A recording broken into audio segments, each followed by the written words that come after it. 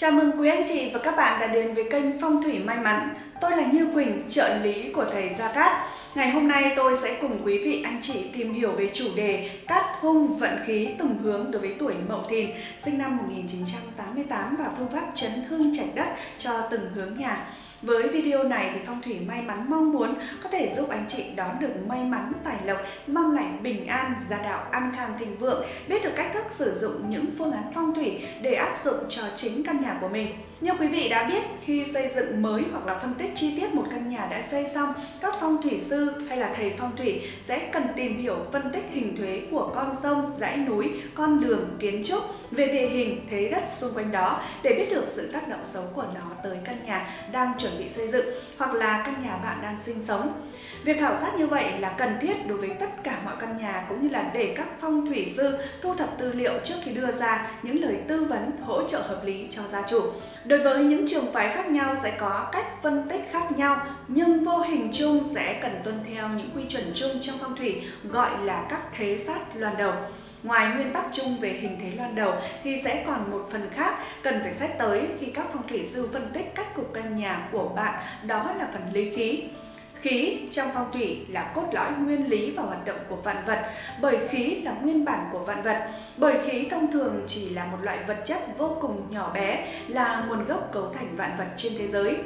Theo như cách giải thích của các nhà tư tưởng duy vật cổ đại, không gian vũ trụ có khí trước rồi mới có vạn vật. Vương Sung thời Đông Hán trong cuốn sách Luận Hành Tự nhiên thiên có viết rằng thiên địa hợp khí, vạn vật tự sinh, tức là trời đất hợp khí, vạn vật tự sinh.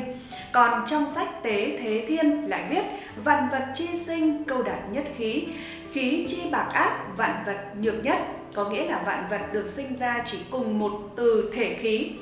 các thầy sẽ dựa vào lý thuyết âm dương ngũ hành, bát quái, tinh tượng làm cơ sở luận đoán đưa ra ý kiến của mình về ra thông tin trạch đất của mình. Khi mà kết hợp cả hai thông tin trên thì các phong thủy sư sẽ đưa ra thông tin chính xác nhất về trạch đất nhà bạn cũng như là đưa ra các phương án hỗ trợ tốt nhất về phương án xây dựng cũng như là tu tạo sửa chữa cho căn nhà của bạn.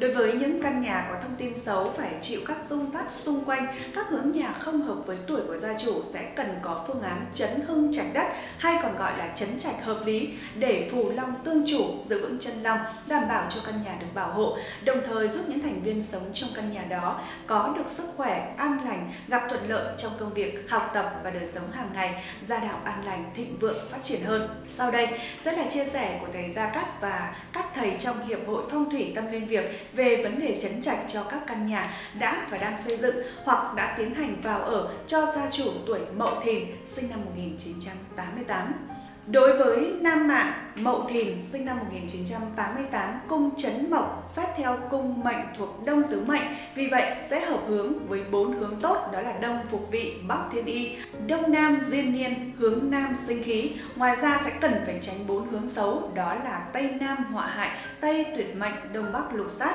tây bắc ngũ quỷ sau đây thì chúng ta sẽ cùng đi vào chi tiết về 8 hướng kết hợp với gia chủ Mậu Thìn sinh năm 1988 để có phương án hóa giải hợp lý cho từng hướng nhà. Đối với hướng Tây Nam thì gồm có Ba Sơn, Mùi, Khôn, Thân có giải độ số theo La Kinh từ 202,5 cho đến 247,5 độ. Tuổi Mậu Thìn sinh năm 1988 Nam Mạng xây nhà hoặc là ở trong những kênh nhà phạm vào họa hại thuộc Tây Tứ Trạch nên không hợp hướng, mà họa hại là sao lập tổn thuộc thổ hướng Tây Nam, tự quái là khôn, chủ về tổn thương, cơ thể suy yếu, dễ nản trí, cô độc nghèo khổ nên xấu vô cùng. Theo cửu cung phi tinh đồ, năm nay sao ngũ hoàng sẽ đáo về phương vị này. Sau này chủ về thị phi gặp nạn mất máu, bệnh tật, tai ách, cũng như là sức khỏe có ảnh hưởng không tốt tới gia đạo, nhất là những gia chủ đang theo đường quan vận thì sẽ càng cần đặc biệt chú ý.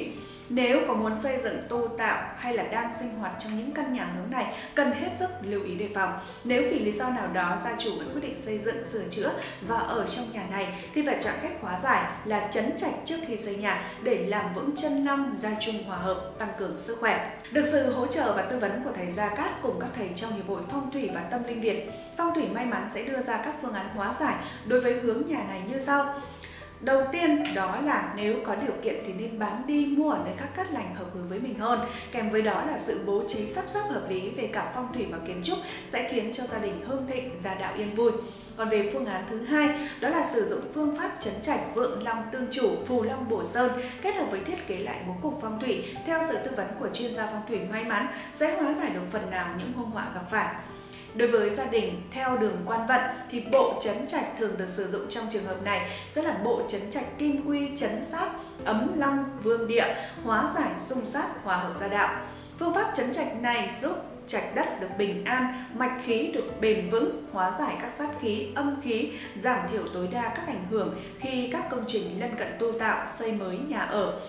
hoặc là tăng phúc tài lộc thọ cho người cư trú. Còn bộ chấn trạch sẽ là sự kết hợp của bốn linh vật kim quy chấn tại tứ của trạch đất. Bạn muốn xây dựng hoặc là căn nhà đang ở, tạo sự vững vàng cho chân long nhà bạn, giúp phù long tương chủ bổ sơn. Cùng với đó là sự kết hợp với một long quy tại chính giữa để tạo thành bộ ngũ phúc, hay còn gọi là ngũ phúc lâm môn, gồm có tài lộc, sức khỏe, quý nhân, gia đạo và thọ niên. Kim Quy là một trong những bốn tứ linh Long Ly Quy Phụng Ma đây là bốn linh vật có sức mạnh phi thường tượng trưng cho trời đất có ý nghĩa lớn trong phong thủy. Kim quy là biểu tượng của sự thanh cao thoát tục trường thọ, là món quà của sự bách niên giai lão. Theo truyền thuyết thì long sinh cửu phẩm chín đứa con.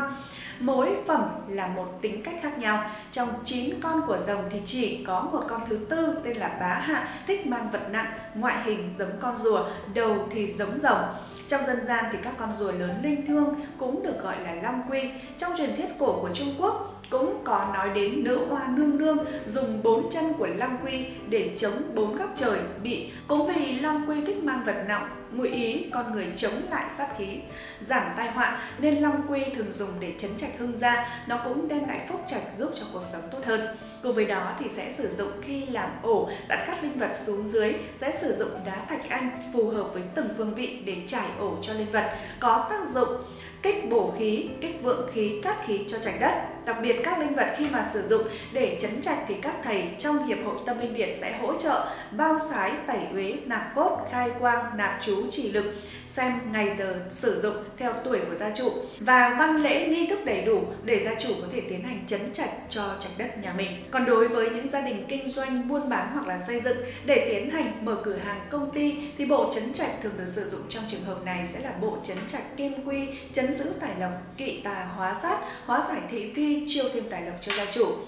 Bộ chấn trạch này về cơ bản sẽ đầy đủ như là bộ chấn trạch kim quy, chấn sát, kỵ hung, hóa giải thị phi, hòa hợp gia đạo và sẽ thay linh vật long quy tại chính giữa trạch đất bằng một tụ bảo tài. Trong phong thủy, kích hoạt tài lộc hay là yếu tố tụ tài tăng cường cát khí, vượng khí cùng với hóa giải sát khí là được ưu tiên. Trong dân gian thì thường sử dụng pháp khí là tụ bảo tài trong việc để tích trữ, lưu trữ tài lộc trong nhà, trong cơ quan hay là để chấn sát cho những trường hợp cửa chính thông với ban công ở nhà chung cư hoặc là cửa chính thông với cửa phụ hoặc những gia đình làm ra nhiều của cải nhưng không có sự tích trữ thì việc dùng tụ bảo tài rất tốt. Đồ bảo tài được chế tác từ bạch ngọc có tính dương khí cực mạnh. Ngoài việc chấn giữ ra thì còn có tác dụng chiêu hút, tăng cường thêm tài lộc cho gia đình. Bên cạnh tụ bảo tài sử dụng quai bằng đồng vàng, có tượng là hổ phù, có tác dụng chấn sát cho việc ngăn cản kẻ tiểu nhân quấy phá, hoặc những người có ý định muốn thu cướp, chiếm giữ, chiếm đoạt tài sản của gia chủ.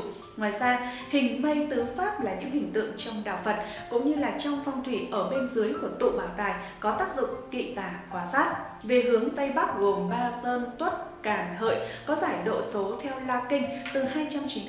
cho tới 337,5 độ. Tuổi Mậu Thìn sinh năm 88 xây nhà hoặc là ở trong nhà này thuộc hướng Tây Tứ Trạch nên không hợp hướng, bị vào vào ngũ quỷ mà ngũ quỷ là sao liêm trinh thuộc hỏa tượng với là ly, chủ vì nóng nảy, nhiều tai họa bất ngờ, tranh chấp kiện tụng con cái khó dạy. Hơn nữa nếu có tình bất chấp xây dựng sẽ cực kỳ nguy hại cho bản thân.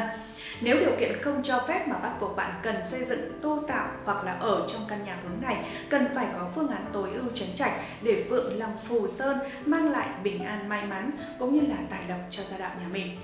Đối với gia đình theo đường quan vận thì bộ chấn trạch thường được sử dụng trong trường hợp này sẽ là bộ chấn trạch kiên quy, chấn sát, kỵ hung, hóa giải thị phi, hòa hợp gia đạo đối với những gia đình kinh doanh buôn bán hoặc là xây dựng để tiến hành mở cửa hàng công ty thì bộ chấn trạch thường được sử dụng trong trường hợp này sẽ là bộ chấn trạch kim quy, chấn giữ tài lộc, kỵ tà, hóa sát, hóa giải thị phi, chiêu thêm tài lộc cho gia chủ. Hướng tiếp theo đó là hướng Tây gồm Ba Sơn, Canh, Dậu, Tân có giải độ số theo La Kinh từ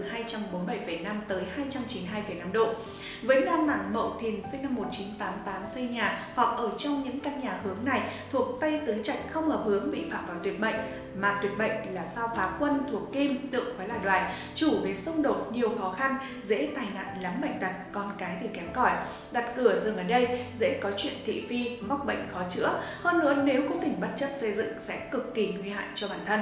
được sự hỗ trợ và tư vấn của thầy Gia Cát và các thầy trong Hiệp hội Phong thủy Tâm Linh Việt, Phong thủy may mắn sẽ đưa ra các phương án hóa giải đối với những hướng nhà này như sau. Phương án thứ nhất là nếu có điều kiện thì nên bán đi, mua ở nơi khác cắt lành và hợp hướng với mình hơn. Kèm với đó là sự bố trí sắp xếp hợp lý về cả phong thủy và kiến trúc sẽ khiến cho gia đình hưng thịnh, gia đạo yên vui. Còn sát sang phương án thứ hai đó là sử dụng phương pháp chấn trạch vượng long phù chủ, phù long bổ sơn kết hợp với thiết kế lại bố cục phong thủy, theo sự tư vấn của chuyên gia phong thủy may mắn, sẽ hóa giải được phần nào những hung họa gặp phải. Còn trong trường hợp này, đối với gia đình đang theo đường quan vận thì bộ chấn trạch thường được sử dụng trong trường hợp này sẽ là bộ chấn trạch kim quy, sẽ chấn sát kỵ hung, hóa giải thị phi, hòa hợp gia đạo. Đối với gia đình kinh doanh, buôn bán hoặc là xây dựng để tiến hành mở cửa hàng công ty thì bộ chấn trạch thường được sử dụng trong trường hợp này sẽ là bộ chấn trạch kim quy, chấn giữ tài lộc, kỵ tà, hóa sát, hóa giải thị phi, chiêu thêm tài lộc cho gia chủ. Còn xét sang hướng đông thì gồm có ba sơn giáp mão ất, có giải độ số theo La Kinh là từ 67,5 cho tới 112,5 độ. Tuổi Mậu Thìn sinh năm 1988 nam mạng xây nhà hoặc ở trong những căn nhà hướng này thuộc đông tứ trạch hợp hướng, được phục vị nên rất cát lành, được xếp vào hàng đại cát đại lợi. Phục vị là sao tả bồ thuộc mộc hướng đông nam tự quái là tốn, chủ về khoan dung nam giới coi trọng gia đình. Trị ra trước rồi mới bình thiên hạ, gặp nhiều sự không thành, hao tổn tài lộc. Đặt cửa giường tại phục vị để hóa giải, theo sự tư vấn của chuyên gia phong thủy. Xét sang hướng nam, gồm có ba sơn, bính, ngọ, đinh. Có giải độ số theo la kinh là từ 100 57,5 cho tới 202,5 độ. Mậu Thìn sinh năm 1988 xây nhà và ở hướng này sẽ thuộc đông tứ trạch hợp hướng được sinh khí nên rất cát lành. Vì sinh khí tượng là sao tam lang thuộc mộc hướng đông tự quái là chấn, chủ vì nhân ái tài lộc thăng quan lợi cho đàn ông, giúp người ta có sinh khí tích cực hướng lên, tượng trưng cho các tường và thuận lợi. Còn xét sang hướng đông nam gồm ba sơn, thìn tốn Tị có giải độ số theo la kinh từ 112,5 đến 157,5 độ. Tuổi Mậu Thìn sinh năm 1988 xây nhà hoặc ở trong những căn nhà hướng này thuộc đông tứ trạch hợp hướng được diên niên. Đây là sao vũ quốc thuộc kim, hướng tây bắc tượng quái là càn, chủ về hòa thuận, lợi về quan hệ xã giao, vợ chồng hòa thuận, hôn nhân dễ thành nhiều phúc lộc. Xét về hướng Bắc gồm Ba Sơn, Nhâm, Tý, Quý sẽ có giải độ số từ 337,5 cho tới 22,5 độ. Tuổi Mậu Thìn sinh năm 1988 xây nhà và ở trong những căn nhà hướng này thuộc Đông Tứ Trạch nên hợp hướng, được thiên y, thuộc sao cự môn thổ hướng Đông Bắc tượng với là cấn, chủ về sức khỏe, vượng tài phát lộc, lợi cho phụ nữ, tính cách khoan dung nhường nhịn, dễ được quý nhân giúp đỡ. Do bốn hướng nhà này hợp với tuổi của trái chủ nên theo lưu niên từng năm khi có các sao tốt đáo tới thì sẽ rất tốt, sẽ cát, bình an, phát triển, thuận lợi nhanh chóng.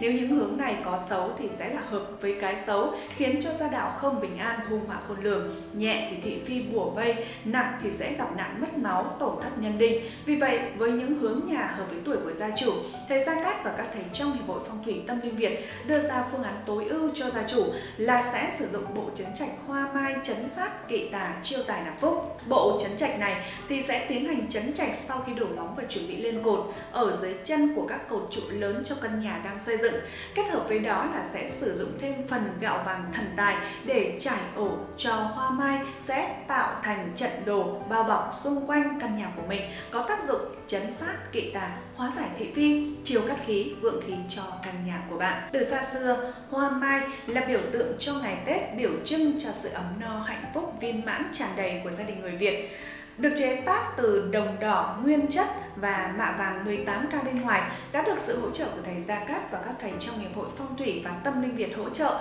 bao sái, tẩy huế nạp cốt, khai quang, nạp chú, chỉ lực xem ngày giờ sử dụng theo tuổi của gia chủ để vật phẩm mang trong mình phần linh lực mạnh mẽ. Đồng tiền hoa mai hay còn gọi là hoa mai kim tiền có công dụng rất phổ biến là giải trừ tiểu nhân, tránh thị phi. Ngoài ra, tiền hoa mai còn mang một số ý nghĩa đặc biệt, đó là mai hoa kim tiền là đồng tiền bằng đồng hình hoa mai năm cánh. Một mặt chạm ngũ tự gồm thọ, sống lâu, mệnh, số mạng, phú, giàu có, quý, thăng tiến và trường là lâu dài trên mỗi cánh hoa. Mặt hình đĩnh tiền vàng tượng trưng cho mong cầu vinh hoa phú quý, tài lộc, sung vầy, gia đạo bình an. Con rơi trong phong thủy còn được gọi là phúc tinh tượng trưng cầu mong về phúc phần cho gia đạo, giúp gia đạo an khang, gia đình hạnh phúc. Về con hươu hay còn có tên gọi khác là lộc thần là linh vật mang tới tài lộc sức khỏe và sự thịnh vượng. Chim khách là linh vật tượng trưng cho quý nhân ẩn ý mong cầu sẽ có quý nhân tương trợ giúp đỡ cho mình. Quả đào là biểu tượng cho sự trường thọ, sức khỏe trong phong thủy, thể hiện cho sự mong cầu về sức khỏe cho gia chủ, gia đình luôn viên mãn. Về hướng Đông Bắc thì sẽ gồm Ba Sơn, Sửu, Cấn Dần có giải độ số từ 22,5 cho tới 67,5 độ. Người tuổi Mậu Thìn sinh năm 1988 xây nhà hoặc ở trong những căn nhà hướng này hướng Tây Tứ Mệnh không hợp hướng, phạm vào lục sát mà lục sát là sao văn khúc thuộc thủy tự quái lạc hàm, chủ về chuyện thị phi khiến tâm lý luôn rơi vào trạng thái rối loạn, luôn thấy bất an, không tập trung vào công việc khiến cho tài vận đi xuống. Nếu kết hợp với phần hình thế loan đầu xung quanh căn nhà kém hoặc xấu sẽ dẫn tới nguy hại với những người sinh sống và làm việc trong căn nhà đó. Nhất là những gia chủ mà đang theo đường quan vận thì sẽ càng cần đặc biệt chú ý. Nếu muốn xây dựng, tu tạo hay là đang sinh hoạt trong căn nhà hướng này, cần hết sức lưu ý đề phòng. Nếu vì lý do nào đó mà gia chủ vẫn quyết định xây dựng, sửa chữa và ở trong nhà này thì phải chọn cách hóa giải là chấn trạch trước khi xây nhà để làm vững chân long gia trung hòa hợp, tăng cường sức khỏe. Được sự hỗ trợ và tư vấn của thầy Gia Cát cùng các thầy trong Hiệp hội Phong thủy và Tâm linh Việt, Phong thủy may mắn sẽ đưa ra các phương án hóa giải đối với hướng nhà này như sau. Phương án 1, nếu có điều kiện thì nên bán đi, mua ở nơi khác cắt lành và hợp hướng với mình hơn. Kèm với đó là sự bố trí, sắp xếp hợp lý về cả phong thủy và kiến trúc sẽ khiến cho gia đình hưng thịnh, gia đạo yên vui. Phương án thứ hai đó là sử dụng phương pháp chấn trạch vượng long tương chủ phù long bổ sơn kết hợp với thiết kế lại bố cục phong thủy theo sự tư vấn của chuyên gia phong thủy may mắn sẽ hóa giải được phần nào những hung họa gặp phải. Trong trường hợp này đối với gia đình đang theo đường quan vận thì bộ chấn trạch thường được sử dụng trong trường hợp này sẽ là bộ chấn trạch kim quy, chấn sát kỵ hung, hóa giải thị phi, hòa hợp gia đạo đối với những gia đình kinh doanh buôn bán hoặc là xây dựng để có thể tiến hành mở cửa hàng công ty thì bộ chấn trạch thường được sử dụng trong trường hợp này sẽ là bộ chấn trạch kim quy, chấn giữ tài lộc, kỵ tà, hóa sát, hóa giải thị phi, chiêu thêm tài lộc cho gia chủ. Còn xét đến nữ mạng mậu thìn sinh năm 1988 sẽ là cung chấn mộc. Xét theo cung mệnh thuộc đông tứ mệnh, vì vậy sẽ hợp với bốn hướng tốt, đó là đông phục vị, bắc thiên y, đông nam diên niên, nam sinh khí. Ngoài ra sẽ cần tránh bốn hướng xấu, đó là tây nam họa hại, tây tuyệt mệnh, đông bắc lục sát, tây bắc là ngũ quỷ. Hãy cùng Phong thủy may mắn tìm hiểu về cách thức chấn trạch toàn bộ các hướng cho nữ gia chủ tuổi Mậu Thìn sinh năm 1988. Đầu tiên, đó là hướng Tây Bắc gồm Ba Sơn, Tuất, Càn, Hợi có giải độ số từ 292,5 cho tới 337,5 độ. Tuổi Mậu Thìn sinh năm 1988 xây nhà hoặc ở trên những căn nhà hướng này thuộc Tây Tứ Trạch nên không hợp hướng bị phạm vào ngũ quỷ, mà ngũ quỷ là sau liêm trinh thuộc hỏa tự quấy là ly, chủ về nóng nảy, nhiều tai họa bất ngờ, tranh chấp, kiện tụng con cái khó dạy. Nếu kết hợp với phần hình thế loan đầu xung quanh căn nhà kém hoặc xấu, sẽ dẫn tới nguy hại tới những người sinh sống và làm việc trong căn nhà đó. Hơn nữa, nếu xây dựng hoặc tu tạo bất chấp sẽ cực kỳ nguy hại cho bản thân. Xét về hướng Tây Nam thì gồm có ba sơn mùi khôn thân sẽ có giải độ số từ 202,5 cho tới 247,5 độ. Tuổi Mậu Thìn sinh năm 1988 xây nhà và ở hướng này sẽ thuộc Tây Tứ Trạch không hợp hướng phạm họa hại. Mà họa hại là sao lập tồn thuộc thổ hướng Tây Nam tự quái là khôn chủ bị tổn thương cơ thể suy yếu dễ nản trí cô độc nghèo khổ. Nếu kết hợp với phần hình thế loan đầu xung quanh căn nhà kém hoặc xấu sẽ dẫn tới nguy hại với những người sinh sống và làm việc trong căn nhà đó. Xét đến hướng Đông Bắc sẽ bao gồm ba sơn là Sửu, Cấn, Dần, có giải độ số từ 22,5 tới 67,5 độ. Tuổi Mậu Thìn sinh năm 88 nữ mạng xây nhà hoặc ở trên những căn nhà hướng này thuộc Tây Tứ Trạch không hợp hướng, phạm lục sát mà lục sát lại là sao văn khúc thuộc thủy, tượng quế là khảm, chủ về chuyện thị phi, tâm lý rối loạn, luôn thấy bất an, không tập trung vào công việc, tài vận thì đi xuống. Nếu kết hợp với phần hình thế loan đầu xung quanh căn nhà hoặc bố trí phong thủy trong nhà không được đắc, phạm phải nhiều nhiều phần nội sát hoặc xấu sẽ dẫn tới nguy hại tới những người sinh sống và làm việc trong căn nhà đó. Hơn nữa, nếu xây dựng hoặc là tu tạo bất chấp sẽ cực kỳ nguy hại cho bản thân. Còn về hướng Tây sẽ bao gồm ba sơn đó là canh, dậu, tân, có giải độ số theo La Kinh là từ 247,5 cho tới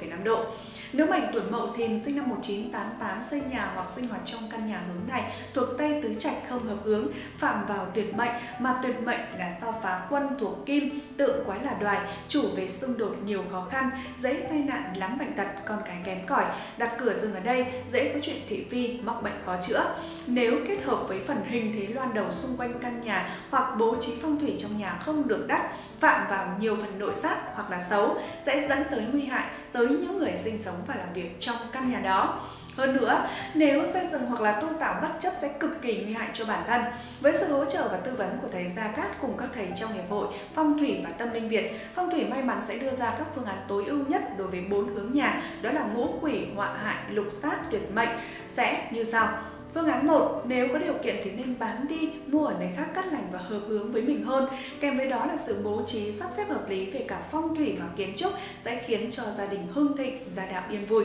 Còn về phương án thứ hai, đó là sử dụng phương pháp chấn trạch vượng long tương chủ phù long bổ sơn kết hợp với thiết kế lại bố cục phong thủy theo sự tư vấn của chuyên gia phong thủy may mắn sẽ hóa giải được phần nào những hô họa gặp phải. Trong trường hợp này, đối với gia đình đang theo đường quan vận thì bộ chấn trạch thường được sử dụng trong trường hợp này sẽ là bộ chấn trạch kim quy, chấn sát, kỵ hung, hóa giải thị phi, hòa hợp gia đạo. Đối với những gia đình kinh doanh, buôn bán hoặc xây dựng để tiến hành mở cửa hàng, công ty thì bộ chấn trạch thường được sử dụng trong trường hợp này sẽ là bộ chấn trạch kim quy, chấn giữ tài lộc, kỵ tà, hóa sát, hóa giải thị phi, chiêu thêm tài lộc cho gia chủ. Còn xét đến hướng đông nam thì sẽ bao gồm ba sơn đó là thìn, tốn, tỵ. Hướng này có giải độ số theo La Kinh từ 112,5 cho tới 157,5 độ. Với nữ mạng Mậu Thìn sinh năm 88 xây nhà hoặc ở trong những căn nhà này thuộc Đông Tứ Trạch nên hợp hướng với tuổi của gia chủ thuộc cung Diên Niên. Đây là sao vũ khúc thuộc Kim hướng Tây Bắc tự với là Càn, chủ về hòa thuận, lợi về quan hệ xã giao. Vợ chồng hòa thuận, hôn nhân dễ thành nhiều phúc lộc. Sao vũ khúc còn mang đặc tính của sao văn xương sẽ rất tốt nếu gia chủ kích hoạt được. Hướng Bắc thì sẽ bao gồm ba sơn đó là nhâm, tý, quý. Hướng này có giải độ số theo La Kinh từ 337,5 đến 22,5 độ. Tuổi Mậu Thìn sinh năm 1988 xây nhà hoặc ở trong những căn nhà này thuộc Đông Tứ Trạch nên hợp hướng với tuổi của trạch chủ được thiên y mà thiên y thuộc sao cự môn thổ hướng Đông Bắc tượng quái là cấn, chủ về sức khỏe, vượng tài phát lộc, lợi cho phụ nữ, tính cách khoan dung, nhường nhịn, dễ được quý nhân giúp đỡ. Về hướng đông thì sẽ bao gồm Ba Sơn, Giáp, Mão, Ất có giải độ số theo La Kinh là 67,5 tới 112,5 độ. Người tuổi Mậu Thìn sinh năm 88 xây nhà hoặc ở trong những căn nhà này thuộc Đông Tứ Trạch hợp hướng với tuổi của trạch chủ được phục vị mà phục vị là sao tả bổ thuộc Mộc hướng Đông Nam tự quái là Tốn, chủ về quan dung, nam giới coi trọng gia đình, trị ra trước rồi mới bình thiên hạ. Còn về hướng Nam sẽ bao gồm ba sơn đó là Bính, Ngọ, Đinh có giải độ số theo La Kinh từ 157,5 tới 202,5 độ. Tuổi Mậu Thìn sinh năm 88 nữ mạng ở trong căn nhà hợp hướng này thuộc Đông Tứ Trạch nên hợp hướng của tuổi trạch chủ được sinh khí vì sinh khí tượng là sao tham lang thuộc mộc hướng đông tự với là chấn chủ về nhân ái tài lộc thăng quan lợi cho đàn ông giúp người ta có sinh khí tích cực hướng lên tượng trưng cho các tưởng và thuận lợi nếu học không vào khó thành tài gia cảnh xa sốt đặt cửa bàn học giường ngủ tại sinh kỳ sẽ có thể hóa giải do bốn hướng nhà này hợp với tuổi của trạch chủ nên theo lưu niên từng năm khi có các sao tốt đáo tới thì sẽ tốt sẽ cắt lành bình an phát triển thuận lợi nhanh chóng nếu những hướng này có xấu thì sẽ hợp với cái xấu khiến cho gia đạo không bình an, hung họa khôn lường, nhẹ thì thị phi bùa vây, nặng sẽ gặp nạn mất máu, tổn thất nhân đinh. Vì vậy, với những hướng nhà hợp với tuổi của gia chủ, thầy Gia Cát và các thầy trong Hiệp hội Phong thủy Tâm linh Việt đưa ra phương án tối ưu cho gia chủ là sẽ sử dụng bộ chấn trạch hoa mai, chấn sát, kỵ tà, chiêu tài và đạp phúc. Bộ chấn trạch này sẽ tiến hành chấn trạch sau khi đổ móng và chuẩn bị lên cột ở dưới chân của các cột trụ lớn trong căn nhà đang xây dựng Kết hợp với đó là sẽ sử dụng thêm phần gạo vàng thần tài để trải ổ cho hoa mai sẽ tạo thành trận đồ bao bọc xung quanh căn nhà của mình có tác dụng chấn sát kỵ tà, hóa giải thị phi, chiêu cắt khí, vượng khí cho căn nhà của bạn. Vừa rồi Phong thủy may mắn đã phân tích các hung vận khí từng hướng đối với tuổi Mậu Thìn sinh năm 1988 và phương pháp chấn hưng trạch đất cho từng hướng nhà. Để được hỗ trợ chi tiết hơn về vấn đề trạch cát sử dụng phù hợp cho từng tuổi và những dự định công việc của quý anh chị thực hiện như là động thổ, tu tạo sửa chữa, xem ngày cưới hỏi cũng như là những vấn đề liên quan tới phong thủy. Quý anh chị hãy liên hệ đến số hotline của chúng tôi. Thầy Giang Cát cùng đội ngũ trợ lý của thầy sẽ hỗ trợ tư vấn cho quý anh chị nhanh nhất. Quý anh chị cũng đừng ngần ngại bày tỏ quan điểm và cảm xúc của mình ở phần dưới ô bình luận. Hãy đưa ra những ý kiến đóng góp giúp cho chương trình ngày một hoàn thiện hơn để đưa đến quý vị và các bạn những kiến thức chuẩn chỉ về phong thủy chính tông môn phái. Đừng quên đăng ký kênh để cập nhật những kiến thức mới nhất về tử vi phong thủy ứng dụng vào cuộc sống hàng ngày. Cảm ơn quý anh chị đã quan tâm theo dõi, ủng hộ chương trình trong suốt thời gian qua. Chúc quý vị và các bạn gặp nhiều may mắn thành công trong cuộc sống.